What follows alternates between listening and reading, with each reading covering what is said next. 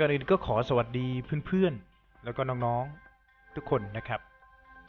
วันนี้ผมจะมาสาธิตวิธีการใช้คำสั่ง scale นะครับคำสั่ง scale ก็คือคำสั่งย่อหรือว่าขยายชิ้นงานนะครับคำสั่ง scale นี้ก็อยู่ในแถบของ modify นะครับคำสั่ง modify แล้วก็ scale นะครับหรือเราจะพิมพ์ตัวย่อ scale ก็ได้นะครับ หรือจะใช้ใน ไอคอนนะครับ ซึ่งเราได้ดึงออกมาแล้วนะครับจากแถบเครื่องมือนะครับก็คือคำสั่ง scale ถ้าเราลอง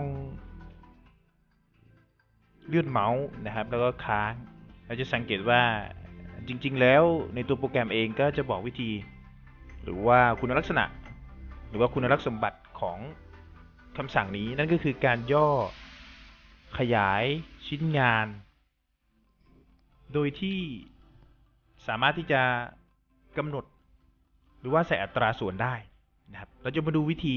การใช้งานคำสั่งนี้ด้วยกันนะครับ เราจะสังเกตว่า สี่เหลี่ยมนี้นะครับ สี่เหลี่ยมด้านนอกนะครับ จะมีขนาดเท่ากับ 5 หน่วย ด้านในคือ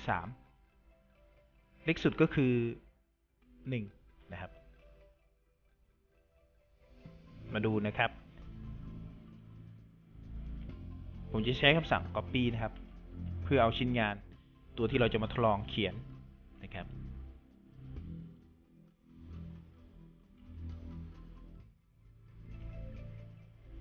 นะครับ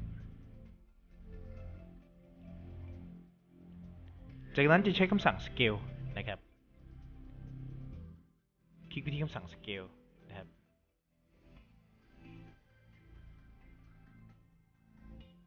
คุม แบบ crossing นะครับ คลิกขวานะครับกำหนดจุดนะครับจุดอะไรจุด base point นะครับ ถ้าเราสังเกตดู command line ที่โปรแกรมโชว์มาให้นะครับ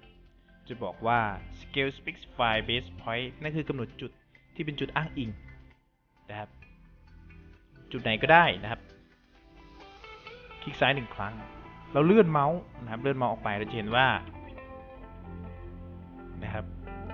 ขนาดจะมีการปรับออกไปส่วนเราเลื่อนออกไปแล้วเราป้อน2นะครับ2กดปุ่ม enter นะครับนะฮะจะสังเกตว่า สี่เหลี่ยมที่มีขนาด 5 นะครับ 5 หน่วย พอป้อนสเกลเข้าไป 2 มันเพิ่มขึ้นเป็น 10 หรือว่า 2 เท่านั่นเองนะครับ 2 เท่านั่นเอง ทำซ้ำคำสั่งเดิมนะครับ ไปที่คำสั่ง scale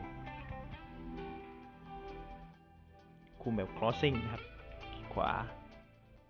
คลิกซ้ายเพื่อกำหนดจุด base point นะครับ ทีนี้ป้อนจุด 5 นะครับ กดปุ่ม enter จะสังเกตว่าสี่เหลี่ยมถูกย่อกลับเข้ามา ในขนาดเท่าเดิม ดังนั้นเราสรุปได้เลยว่า ค่าที่เราป้อนให้กับคำสั่งนี้นะครับ ถ้าเราใส่ค่า 2 มันจะขยายขึ้นไปเป็น 2 เท่า แต่ถ้าใส่ 1 ล่ะ ใส่ 1 จะไม่มีการเปลี่ยนแปลงนะครับ เรามาทดสอบดูนะครับ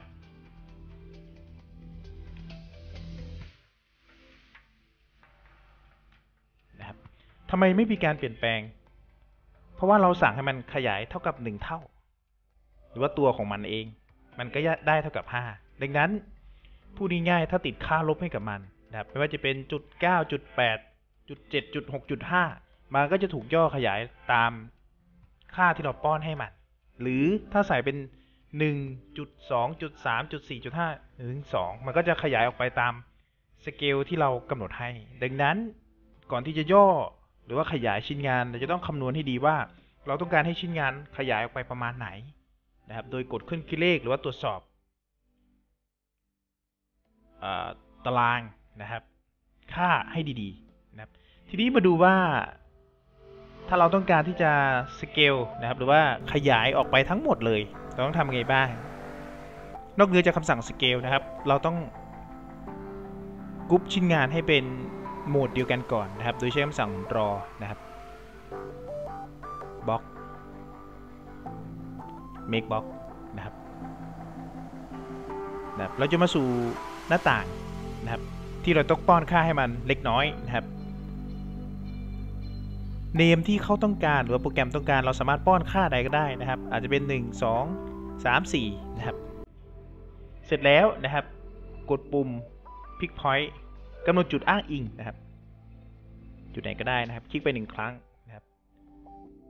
ค่าก็จะรายงานออกมาว่าแกน x เท่าไหร่แกน y เท่าไหร่นะครับ จากนั้นไป select object หรือว่าการเลือกวัตถุคุมไปหมดเลยนะฮะ คลิกขวา object ที่เราคุมก็จะมาโชว์ในหน้านี้ เห็นไหมฮะ จากนั้นกดปุ่มโอเคเลื่อนเมาส์เข้ามา เราจะเห็นจะสังเกตว่าชิ้นส่วนแต่ละชิ้นถูกรวมเข้ามาเป็นกรุ๊ปเดียวกันนะครับ จากนั้นเราจะใช้คำสั่ง scale นะครับไปที่คำสั่ง scale อีกครั้งหนึ่งนะครับ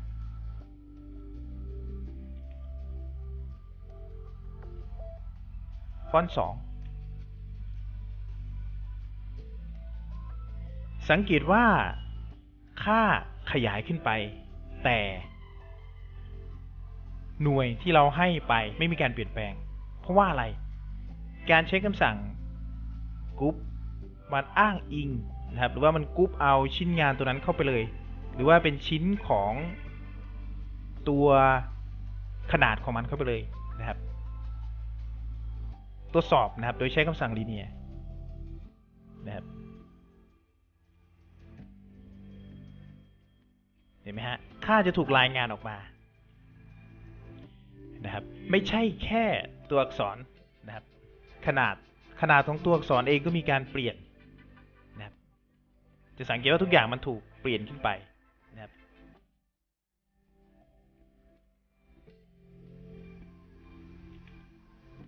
เห็นไหมฮะอีกครั้งนะครับ ค่าของมันนะครับ เวลา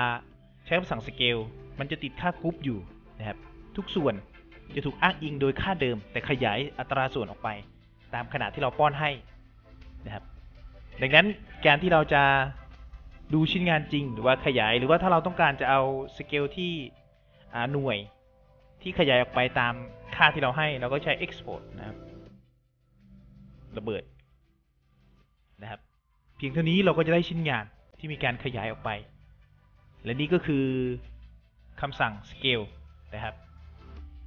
เพื่อนๆน้องๆท่านใดที่ติดปัญหาในการเขียนแบบ